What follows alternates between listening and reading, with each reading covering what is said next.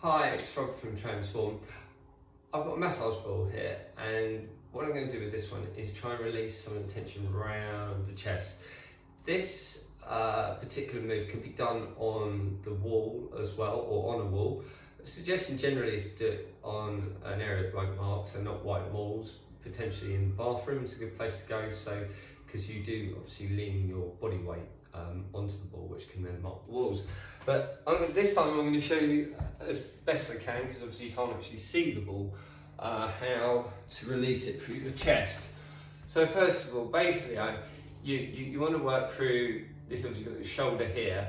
You want to try and work through the top part of, of the pec, and what you do is obviously just lie your weight on the ball and move it along the points to try and release it. Now you'll probably find certain areas that are tight in the other, so we're working on kind of the top part, but obviously you can work down here, down the uh, centre part near the sternum and on the inside line of the pec through here. But basically you can work through pretty much any part of the pec by um, just lying on top of it and letting your weight uh, fall into it. So Obviously the idea here is to release tension. The more weight you press down, the more weight, uh, the, the more tension you're going to release.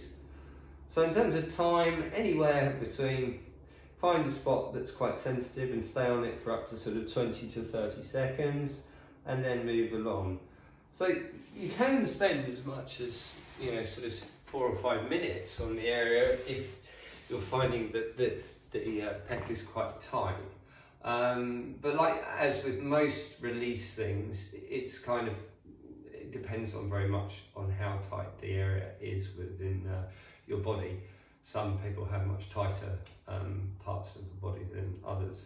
But give it a go and um, pop a comment in the comment section uh, when you see the video. Thanks, that's Rob from Transform.